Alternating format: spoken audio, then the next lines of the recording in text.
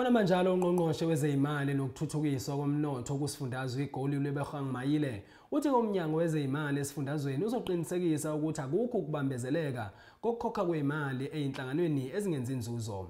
Umayile uthi ke lokhu kwenzela ukuqinisekisa ukuqhubeka kokuhlinzekwa kweinsiza ezikhungweni ezifana nama-NPO.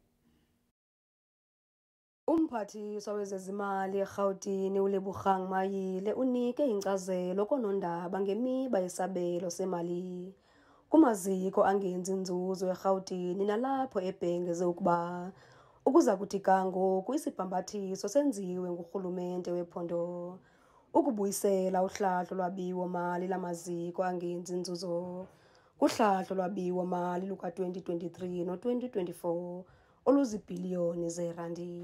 We are deeply committed to ensuring that uh, NPOs operating within the province are paid timeously in order to ensure the continuation and seamless provision of services.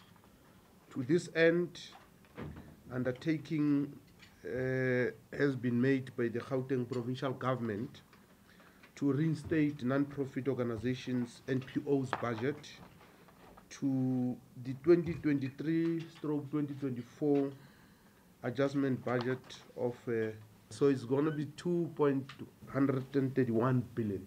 Uh, so this represents a growth of 13% against the 2023 stroke 2024 actual expenditure to accommodate new applications for funding in the current financial year. The department recognizes the crucial role that NPOs play in the province. Ngokwengxelo yesebe lezezimali kukho amaziko angekahlawulwa naphantsi kophando kungoku nje. There are currently a few NPOs that have not been paid due to compliance issues. A total of 13 NPOs are under investigation, while six have been deemed non-compliant.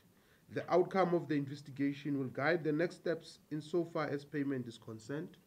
Where matters of compliance are resolved, payments will be made. In addition to non compliant uh, NPOs, applications for 23 NPOs have uh, not been found in the system, while six NPOs have since been closed or are deemed untraceable. In two cases, duplicate payments were made the provincial treasury is facilitating the resolution of this duplication. Umayile uthi urhulumente wephondo uza kugcina amajelo eendaba kunye noluntu ngokubanzi lusazi ngophuhliso oluphathelele kwiziphumo zophando zala maziko alishumi elinesithathu kwiindaba zeSoweto TV ndingunomzabalazo mtuka esenteni